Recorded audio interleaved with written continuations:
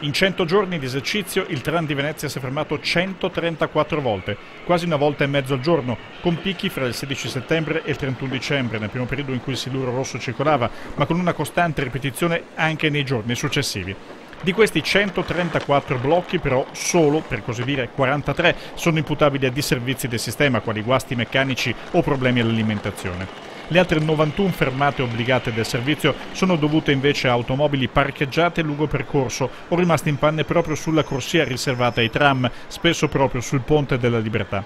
Fattori esogeni come li definisce la CTV che ha presentato i conti dei primi quattro mesi di gestione della tratta tranviaria da e per Venezia. Su questi il Comune può agire in qualche modo, verificato che i punti più a rischio di convivenza fra vetture e tram sono lungo Viale San Marco e lo snodo di San Giuliano, andranno trovate soluzioni che secondo l'assessore Renato Boraso non potranno comunque eliminare il transito delle auto per concedere le corsie riservate ai tram che la CTV chiede con forza per migliorare il servizio. Anche il freddo si sta dimostrando un nemico del tram, basta una gelata per rischiare che i mezzi si fermino come è accaduto qualche giorno fa, tanto che una consigliera comunale del Movimento 5 Stelle, Sara Wiesmann, ha proposto un'interrogazione se non sia il caso di far correre il tram momentaneamente anche di notte per evitare appunto che i binari possano ghiacciarsi. Vi è però un altro e più grave aspetto, l'usura dei mezzi che, anche se sono fisicamente in giro per la città da pochi mesi, sono in buona parte stati acquistati nel 2008 e sono rimasti per anni fermi o quasi in deposito. Non va dimenticato che la casa produttrice, la LOR, è fallita